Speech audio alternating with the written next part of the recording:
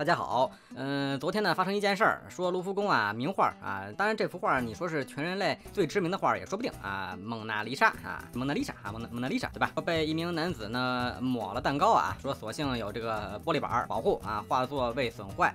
呃，现场视频显示呢，肇事者曾对着现场其他游客大喊：“有人正在毁灭地球啊！”所以我才这么做的啊。嗯，先说这个蒙娜丽莎这幅画吧啊，它首先肯定不用担心，因为这种画啊，它外边的结构呢都有这种防弹玻璃，你就是拿子弹直接冲它射一下，估计也没事儿。嗯，其次呢，大多数时候啊，反正我看到的其他的一些呃材料呢显示，实际上这些画啊，它能展示的一般都是一些高仿啊，很少有拿原作啊直接。去往那儿放的啊？为什么呢？因为是卢浮宫，他也呃经受不了这样的损失啊。因为世界名画就这一幅啊，你毁了就是毁了啊。你不论是有没有人作死，对不对？还是什么意外，你没了啊，那真就是没了啊。呃，卢浮宫啊是成承担不起这种损失的。啊，甚至呢，有人说，呃，一些阴谋论吧，啊，目前至少是没有证实，就是说卢浮宫这一幅蒙娜丽莎实际上也是假的啊，也是赝品啊，真品呢，其实早在很久之前呀，已经被某些呃不知名的富豪啊给私人收藏走了。因为蒙娜丽莎这幅画，它在这个途中啊也是辗转啊，经历过很多的啊这种事情啊，所以嗯，你要了解艺术史，你要知道，真的很多画它是呃几经易手啊，那之间到底有没有人说呃给你什么高仿了一高仿了一批，对吧？然后给来个狸猫换太子，偷梁换柱啊。你也不知道嘛啊，嗯，先把新闻看完啊。说有目击者介绍呢，肇事者啊是一名啊坐着轮椅、戴着假发、围着呃红围巾的游客啊，其装扮看起来像一名年事已高的老太太。啊，事发时呢，他突然站起来啊，走向画作，然后扔蛋糕，将其抹开，还向周围撒了玫瑰花瓣啊。这个这个这个非常的嗯，怎么说呢？还撒花瓣，你干嘛呀？嗯，很有行为艺术啊。嗯，左边这个大姐看着都有点无语了，有点无语了啊。觉得又来傻叉，又又来傻叉啊。每年卢浮宫都要遇到几个嘛。嗯，然后她还戴个小围巾，对吧？看起来逼格很高啊啊。说保安啊前来啊，这底下有这个嘛，就远处拍的嘛啊。说保安前来，游客们呀才注意到肇事者是一名年轻男子，右手推着自己轮椅，左手呢对着身后其他游客指指点点，并大喊了几句啊与保护地球有关的内容。说想一想地球。有人呢正在毁灭地球，所以我才这么做啊！不知道为啥，就是说，呃，为什么毁灭地球你要冲一幅世界名画扔扔蛋糕呢？啊，说大家想一想我们的星球啊！保安将其带离现场，有工作人员上前对蛋糕污渍进行擦拭。看到这一幕呢，现场其他人呀则举起手机纷纷拍摄啊。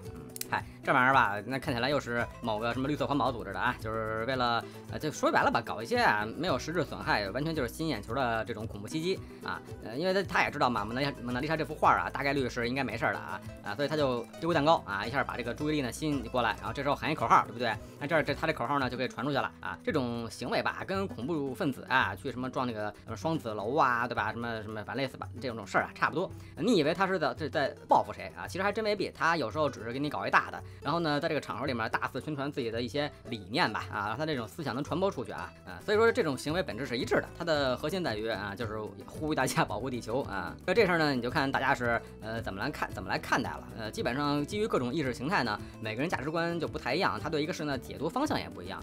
我曾经很早之前呀，有一次我那有什么时候了，可能得嗯七八年前啊，那会儿我曾经啊就好吧，不然断了一下，就说我之前呢曾经啊，我特早之前啊，特早之前呃约过一姑娘啊，然后。她是挺女权主义的嘛，啊，但是甚至有点说极端女权了。嗯，后来呢，怎么回事呢？就是我们一起看那会儿什么呀？正在好正在上那个大侦探福尔摩斯啊，就是应该是狼叔那版啊，还不是卷福那版，狼叔那版啊，哎是狼叔吧？我忘了，就休杰克曼，哎是休杰克曼吗？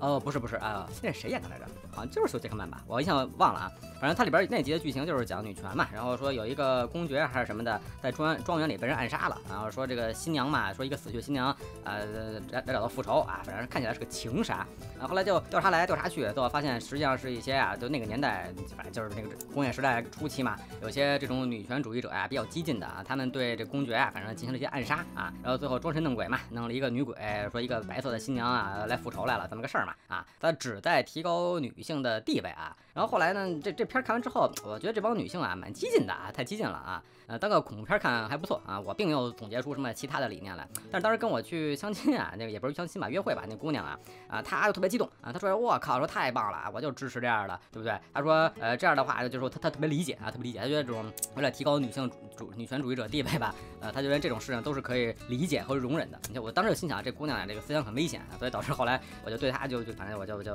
虽然这姑娘其实很好啊，人人是很优秀，这个我得承认很优秀，但是我真的是接受不了这个啊，所以只比如说价值观取向不一样。因为人一旦一旦呀说极端起来，他对于某个事情认为是说可以无底线的去呃去接受啊，只要能实现自己目标，呃，我认为这个人他就是嗯相对会比较极端啊。我认为就是你得有一个框架，这个框架谁都不能突破啊，嗯，大家共同遵守。如果你为了某个事情你把这个玩法对吧，你尝试给它颠覆了，嗯，那大家就是双输嘛啊，所以后来也不了了之。你看这个事儿就是类似是一样的啊。那你说，假如说真的是那天咱凑凑巧了，那玻璃罩说没有啊，砰，真打上了原画。假如说你还真是原作啊，真画它毁了啊，你说算谁的？对不对？那人类是不是少一个历史的文物瑰宝啊？这所以你也说不好嘛，嗯。